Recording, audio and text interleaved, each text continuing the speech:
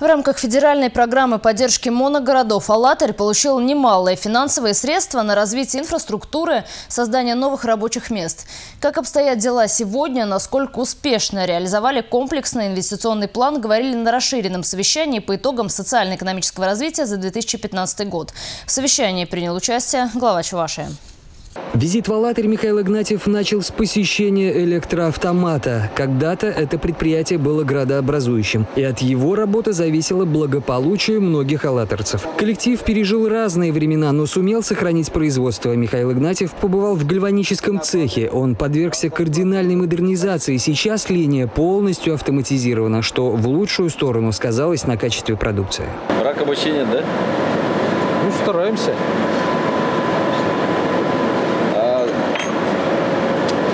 Комплектующие, то, что там химрегенты берете, подорожали, наверное, тоже, да, практически? Ну, это как Сколько все... процентов отношений? Ну, я не знаю, в принципе... Сложно себе... говорить, да? Сложно говорить, но по драгметаллам ежеквартально. У нас драгметаллов очень много идет. Угу. Ежеквартально драгметаллы дорожают, поэтому большой рентабельности нет, а я сказал, что госзаказ в основном, вот объемы как бы, если по прошлому году вот ваш помощник и министр экономического сказал, вот у вас, говорит, по объемам падения, да, то, что мы лишнего сделали 3% в прошлом году, а, а в этом году э, мы сделали, произвели меньше, но продали мы практически на уровне, и Погода уже нормально там у вас? У нас все нормально, мы лишнего ничего не делаем потому что сейчас нельзя на склад работать. Сегодня же глава Чувашии провел встречу с руководством муниципалитета, а также принял участие в расширенном заседании собрания депутатов. Оборот предприятий города превысил 8 миллиардов рублей, что на 20% выше уровня 2014 года. Сохранили темпы роста механический завод, бумажная фабрика, ЛТЕХ и СКМ. Важной составляющей экономики является малый и средний бизнес. За 2015 год численность работающих увеличилась на 3% и составила составила 4400 человек. На стадии реализации сейчас находится 6 инвестиционных проектов, еще на 130 новых рабочих мест. В 2015 году в бюджет «АЛЛАТРИ» поступило доходов в сумме 517 миллионов 200 тысяч рублей, а 70% поступления из федерального и республиканского бюджета. Собственные доходы в прошедшем году составили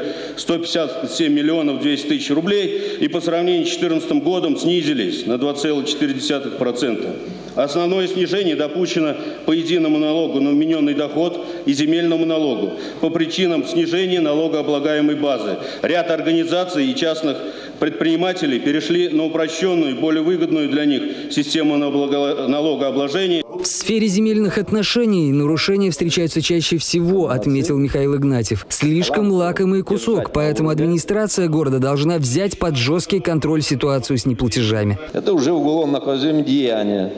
Потому что прокуратура и четко занимается, у них четкие установки. А все вопросы коррупции – это в земельных отношениях, в отношениях с муниципальной собственностью, государственной собственностью.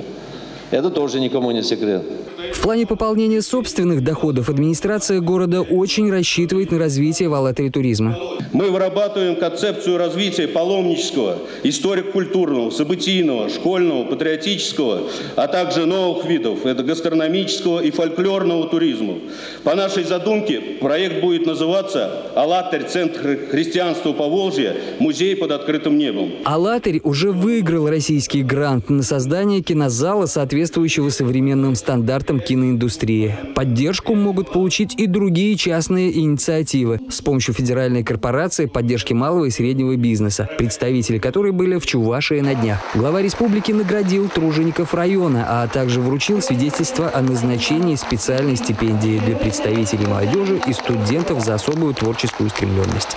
Родион Архипов, Расиль Мухаметов, Республика.